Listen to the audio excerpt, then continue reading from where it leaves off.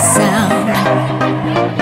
A wonderful, wonderful treasure that I found.